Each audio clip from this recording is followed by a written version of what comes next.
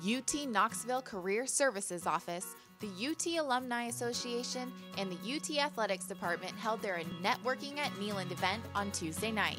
Junior and senior athletes who are getting ready to enter the job market were invited to this exclusive event.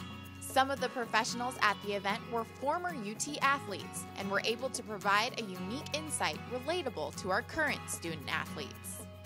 The main thing that I tell them now time management.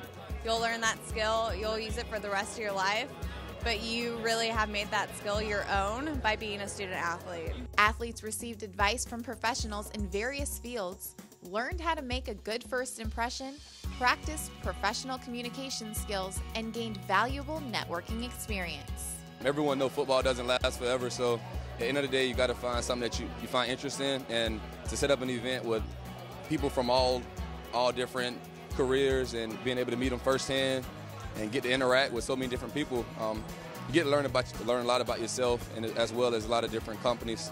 So I feel like it's a great opportunity. It's almost time. I'm graduating in May, so I mean I definitely need this experience, and it's been really, really crucial. The student athletes look sharp in their business attire. Their commitment to a sport and to school proves that these Vols have bright futures ahead of them. For UTSports.com, I'm Danny Kleppinger.